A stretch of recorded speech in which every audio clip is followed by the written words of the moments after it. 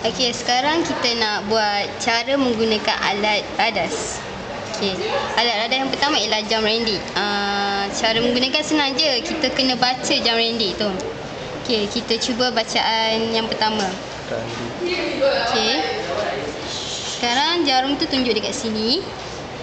Bila yang panjang ni dia mewakili 5 dan yang kecil ni 1. Jadi cuba kita kira 45, 50, 55. So jawapan dia 55 uh, Dan jangan lupa dia mesti ada satu titik perpuluhan. Dan unit dia Second. Cuba pula Jangan rendi yang kedua bacaan dia berapa? 45 46 47 48 48 Satu titik perpuluhan dia So Dan unit. Dan jangan rendi yang ketiga bacaan dia 30, 35, 40, 41, 42.